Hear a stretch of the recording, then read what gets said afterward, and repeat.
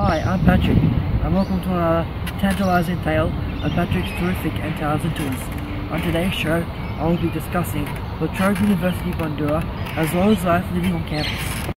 La Trobe University in Bundoora officially opened in 1967 and was the third university to open in Victoria. It currently has over 26,000 students studying on its many campuses, one of which is the Bundoora campus, which has many things to offer. First is its massive library, which has over three levels and thousands of books for students to study or read with. That's a lot of reading material. There are also a lot of different classrooms in La Trobe, where students attend to on the working week. There is also the large Simpson lawn, where students can read, relax, or study with friends or other students. Another popular place at La Trobe Bundoora is the Agora.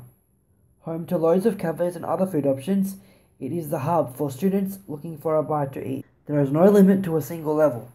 Upstairs, there is many more food options, such as a Chinese restaurant. As well as that, La Trobe Bundoora has living on campus accommodation for students. An example of which is Menzies College. Welcome to Menzies. Come on in.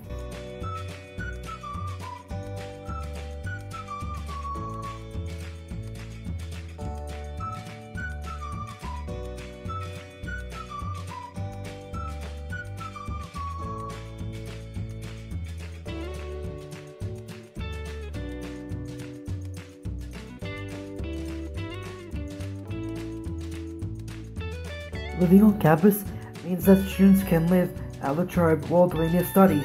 It also means not having to get up as early for class. Student accommodation is not just limited to Menzies College.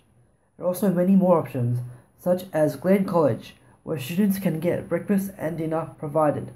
There is also other areas, such as the barbecue, where students can cook up a storm. In summary, La Trobe is a fantastic place to study, as well as a great place to live. Well, that's all we have time for. Tune in next week for another thrilling tale of Patrick's terrific and intelligent tours.